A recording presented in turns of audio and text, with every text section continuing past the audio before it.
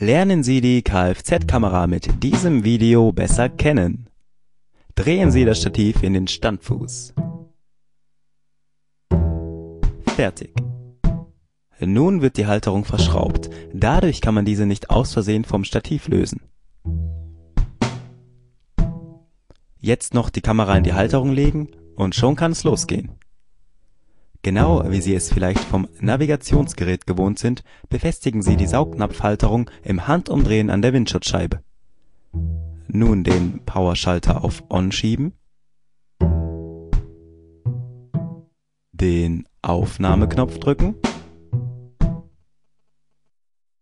und hier sehen Sie jetzt das Originalbild der Kfz-Kamera.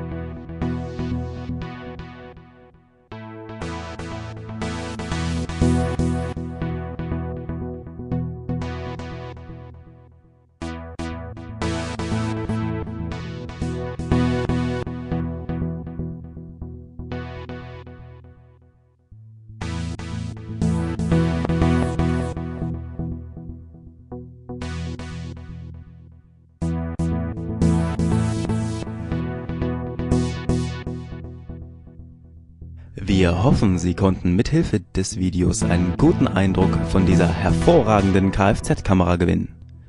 Besuchen Sie uns auf www.alarm.de.